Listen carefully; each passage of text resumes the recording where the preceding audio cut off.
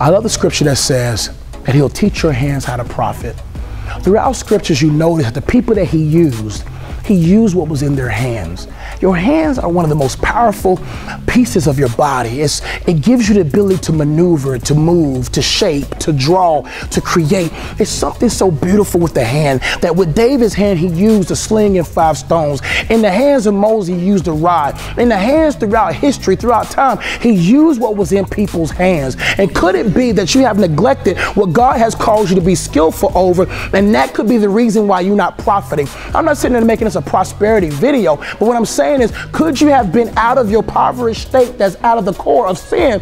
Could you be prospering now if only if you took the time to work what was in your hands? Your Red Sea won't spread and your giant won't fall until you utilize the Spirit of God within your hands.